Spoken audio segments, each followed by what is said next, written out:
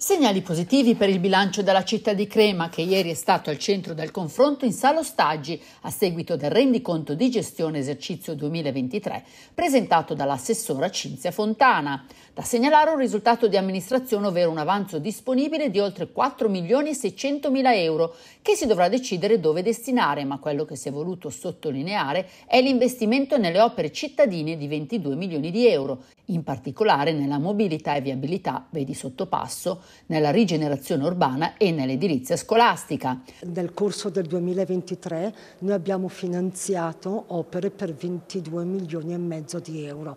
Noi, nel senso noi come bilancio del Comune, in questo ci sono eh, opere finanziate da PNRR per 12 milioni, ma il resto abbiamo utilizzato risorse eh, del Comune. Sono opere importanti, eh, 22 milioni e mezzo eh, di opere che si sono sono in corso di realizzazione, alcune sono terminate, vedrà, altre vedranno la realizzazione nel 2024. Non è accettabile mantenere un avanzo di amministrazione così importante quando la città versa in uno stato di evidente difficoltà in vari settori, tuona la minoranza.